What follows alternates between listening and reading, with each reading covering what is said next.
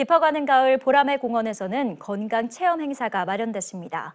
심폐소생술 체험에서부터 건강 상담에 이르기까지 다양한 프로그램들로 산책 나온 주민들의 발걸음을 사로잡았는데요. 현장에 김동은 기자가 다녀왔습니다.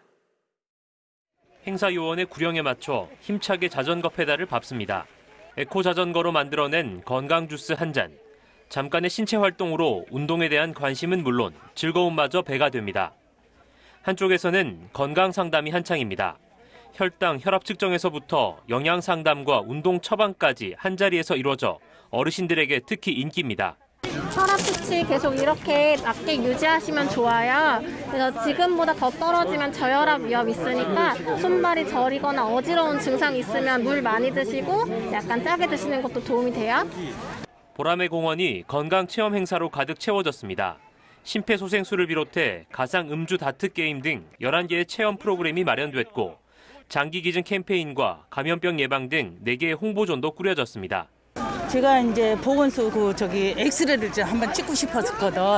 근데 거긴 잘 안 가죠. 이제 운동하다가니 이렇게 지나오니까 여기 있더라고. 너무 좋은 것 같아요. 저 지금 결과 보고 왔어요. 지난 3년 동안 이제 우리가 코로나로 많은 분들이 어, 정신적으로나 육체적으로 많이 힘든 상황에서 자기 건강을 못 챙겼죠. 먹는 것, 또 혈압, 당뇨 이런 부분들을 많이 간과하고 있지 않는가 하는 생각이 들어서 한번 체험을 해보시고 이제 이 가을이 가기 전에 나오셔서 야외에서 한번 체험해보시고 다시 한번 자기 건강을 좀 체크해보시고 관심을 가지셨으면 하는 바람으로 이 행사를 마련했습니다. 다양한 체험 프로그램으로 주민 호응을 얻은 건강 체험관. 배우고 즐기며 건강 관리에 대한 관심을 높였습니다. HCN 뉴스 김동훈입니다.